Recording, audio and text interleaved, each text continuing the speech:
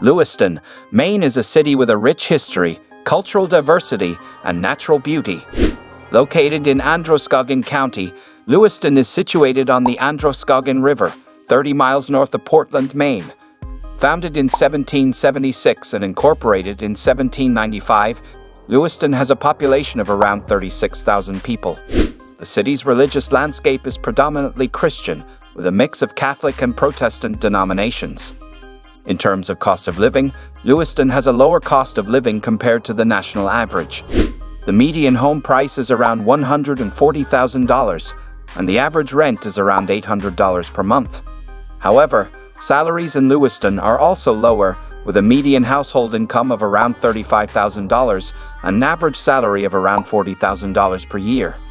Lewiston's people are known for their warm hospitality and strong sense of pride. Did you know that Lewiston, Maine was once a major hub for the Ku Klux Klan in the 1920s. The city's textile industry was built on the backs of child laborers, and Lewiston was a major destination for Irish immigrants during the potato famine. In fact, the city's Franco-American population was once so large that Lewiston was known as Little Canada. Did you know that Lewiston was home to the first public library in Maine, founded in 1863? However, the city's downtown area was once ravaged by a devastating fire in 1854. Lewiston was also a major stop on the Underground Railroad, and the city's mills were powered by the Androscoggin River, which was also a source of pollution.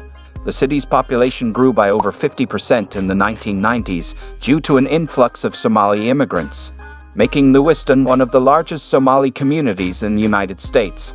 However, the city has struggled with integration and diversity and has faced challenges in its schools. In terms of education, Lewiston has a range of options, including Lewiston Public Schools, Bates College, and Central Maine Community College. Despite its much strength, Lewiston faces challenges related to poverty, with around 20% of the population living below the poverty line. Did you know that Lewiston was once home to the largest shoe factory in the world? Did you know that Lewiston was once a major center for the production of bricks? Did you know that Lewiston has a surprising number of artists and musicians per capita?